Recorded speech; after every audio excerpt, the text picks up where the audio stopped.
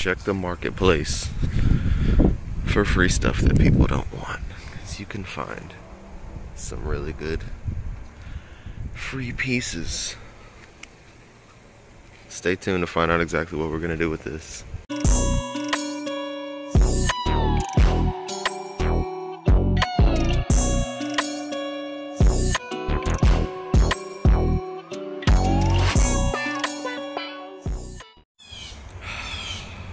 Greetings, everyone.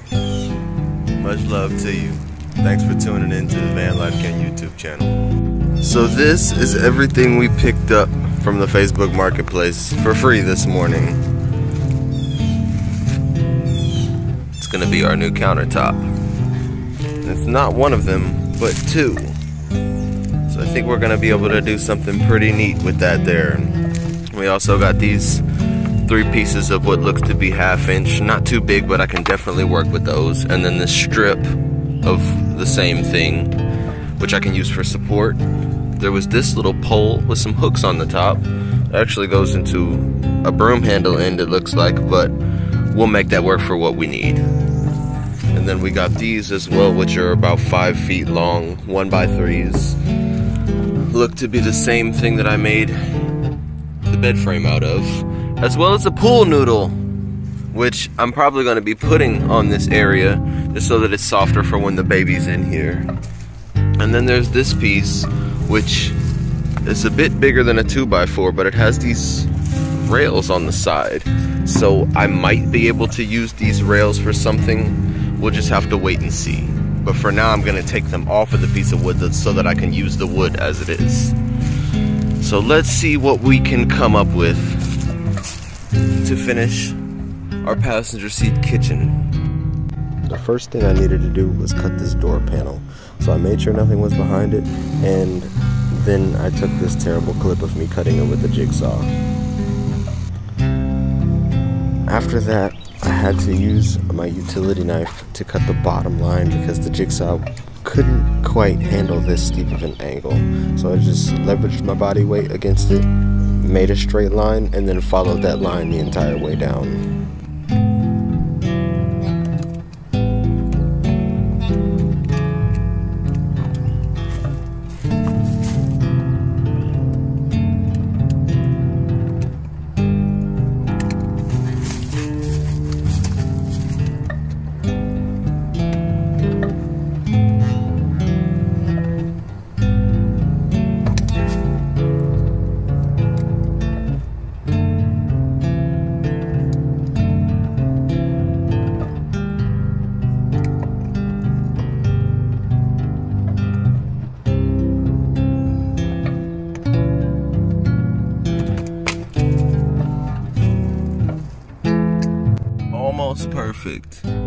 Cut just a tiny bit more off, but that's nothing. And now when we close the door, it barely moves. Just because of the nub right there, but as you can see, it's not touching the rest of the way. And that's exactly what we wanted. No movement. Perfect. Then I measured six or seven times before you, you you need to measure multiple times before you make an important cut. Okay that's why i say six or seven because honestly i had the piece on there. I don't know how many separate times take it off put it back on make sure everything lines up how you want it and then make the cut. I mean i didn't have very many chances with this. So i took the best looking part of the piece with the smoothest edges to be facing outward so that it has the best aesthetic that I could accomplish given that I'm using trash pieces of wood. I mean, you, you got to do what you can to make it a way that you will enjoy, not something that you'll dislike and want to change in five minutes, which I don't. I'm actually taking this voice clip a couple of days after I've done this, and I'm still very happy with what I achieved with this whole piece. But I say all that to say, I took my measurements and then I cut, and everything fit exactly how it was supposed to. So after I cut this piece, I ended up cutting that strip in half to use as the support to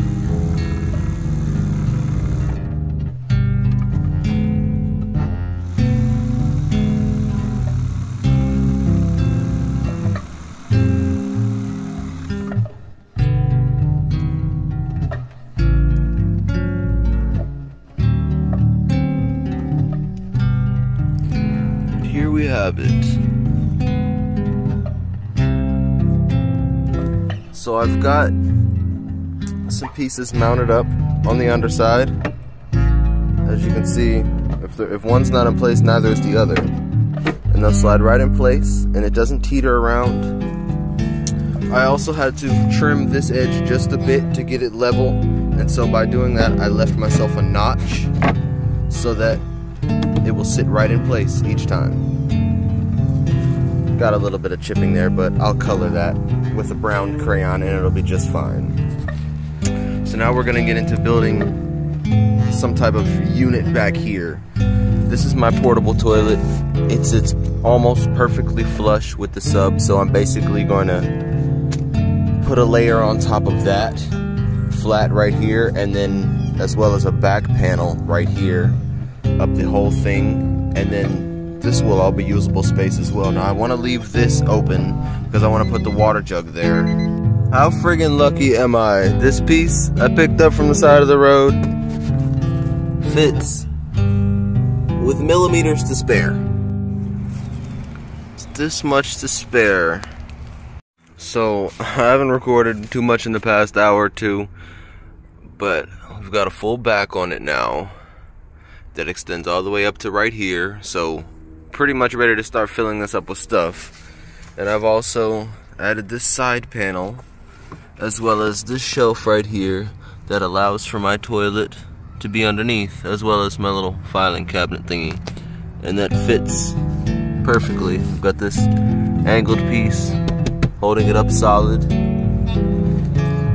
this piece is held on by one L bracket over here I just wanted to mention real quick that I'll be cutting a slot in this piece, kind of like the line that you see on the screen, so that I can access the storage underneath the sink countertop without having to open the door and go outside of the vehicle. Here a little small L bracket and then spaced by this piece that I wood glued to it. And then I also added a screw going into the dash just to keep it over as enough. So yeah, everything's coming along really well, guys. Um, I'm, I'm super excited about this. I'm actually going to be picking up the baby later on tonight, so I'll be happy to have this at a much better place so that I don't have to worry about her hurting herself on it or anything like that. There we go. I think I'm going to add um, a small flat piece right in front of here just to keep it from going too far out. But that's that's a small thing. I just want to make sure that it stays lined up where it's supposed to. We have our carbon monoxide detector here. Not exactly sure still where I'm going to put that, but as you can see, this is holding up stuff just fine. I mean, I'm, I'm doing everything that I need to to make sure that this is solid and sturdy, and it's all one piece. No problem with that. So right here is more than likely where the water jug is going to be.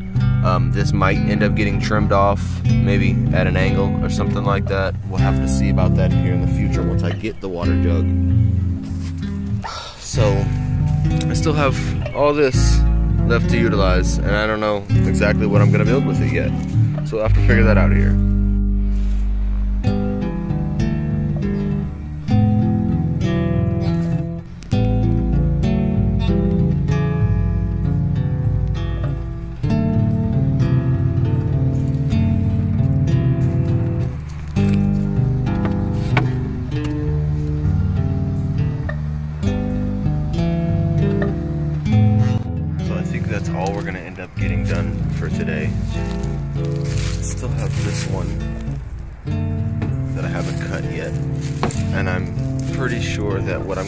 That for is to create another countertop right here to where I can still open this. So it'll be a little bit lower. It'll be around, get this as flat as possible down here. So it'll be a little bit lower, but I'm fine with that because that's also where the sink is gonna be. So I want to be very precise when I'm cutting this one out because I'm going to be cutting it for the sink to fit, but also for the piece that I cut out to sit back in place so I don't lose countertop space when I'm not using the sink. I mean, it just makes sense. But I broke the I broke the jigsaw blade. I tripped over it and the blade went So I have to go get some more blades. And um, so I'm just kind of packing up now. It's like rush hour and it's also the solar eclipse, which I'm not afraid to look at. I don't know about you, but I'm looking right at that thing, particularly with the right eye, the eye of Ra. If you know, you know. If not, let me know. We can definitely have a talk about these types of things. I'm eventually gonna make my way to Home Depot. I need to swap out my oil for some full synthetic anyway. This motor in these vans has an issue with sludging, so the oil gets too thick and it gets more like jelly. And so to combat that, and to keep the engine clean on the inside, most people use full synthetic oil. And I don't think that full synthetic oil is what's in there now. So I need to get that swapped out and then I'm gonna get those saw blades as well. I need to pick up some money that's owed to me. I've already shipped out my package for the day. But um, other than that, yeah, I'm just gonna be filling up my new food storage space with whatever food that I have that I can to get it out of the basket, which will give me more room under the bed. I'll probably throw the basket underneath the kitchen cabinet. I don't I still don't know what to call it. Let me know in the comments what you think I should call this thing that I've created here where the passenger seat used to be. What uh, maybe I'll make a poll on, on the community page to see what the best name idea is. But uh, yeah, like I said, I'm gonna get that filled up here and just reorganize myself a bit before I pick up my wonderful daughter. I miss her so much. I can't wait for her to see what I've created. I already know she's gonna be under there, just sitting there. She likes minimal spaces like that. So, talk to you guys once I have it a little more organized in here. And there it is, everyone. Not filled up, but it's got some stuff in there. But to me, that's beautiful because it's exactly what it's meant for, aside from the incense box. Food, food, and more food. I think the baby will like having easier access to snacks, that's for sure. And even that tall can fits. So, yeah. Next drive will be the test to see if stuff decides it wants to fall or not, which I highly doubt. And here we are, next morning. Well, Crazy Head seems to be enjoying enjoying the kitchen countertop a whole lot. So now with having all this stuff under here, we have a lot more space under the bed. Like a lot. I pull this out, the trash can falls. But it's it's almost empty is how it feels. It actually feels like it's empty under there. Baby slept wonderful in here. I mean, we've got space behind the seat now. It's just, it's crazy to think that just that one bin full of stuff was taking up all that extra space under there. But um, yeah, we drove about 60 miles yesterday. It didn't move at all. None of the stuff inside moved. I haven't had to touch it, except I took some one of those kind bars. I haven't had to touch any of it.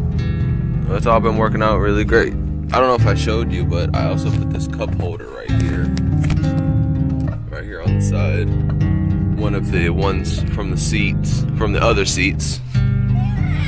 So I have some more of those to put up as well, and then I put this cup holder right here into the speaker grill. So that's another double. It's kind of pushed up because the seat is pushed forward right now. But everything is working great. We both slept wonderfully. Well, she definitely slept wonderfully. She slept in the bed with me most of the night, so but there's there's definitely enough room for both of us to be comfortable, and that's that's the best part about this bed. It's got enough room for me and her.